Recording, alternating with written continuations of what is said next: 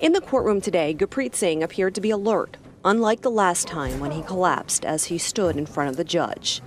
In the gallery today, a handful of supporters. He does have support. The people that you just mentioned that are in the courtroom are uh, his family members that do support him.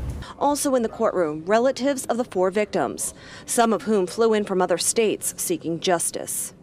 Singh is accused of murdering his wife, Shailendrajit Kaur, her parents, Hakikat Singh Panag and Parmajit Kaur, and Parmajit's sister, Amarjit Kaur. They were shot a total of 18 times inside their lakefront at West Chester apartment. Court documents I obtained give a glimpse at the evidence prosecutors have, including blood and DNA samples, interviews with more than 40 people, surveillance footage from more than a dozen businesses in the area of the lakefront apartments, and information involving a land dispute in India. Defense attorney Charlie Rittgers says his client maintains his innocence. Absolutely.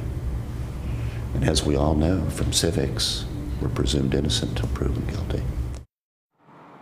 And in between now and that trial date next September, several pre-trials have been scheduled. Charlie Rittgers did file a motion to have those closed to the public, but WLWT will be fighting that motion as we believe you have a right to know what happens in this high interest case. Reporting live tonight in West Chester, Karen Johnson, WLWT News 5.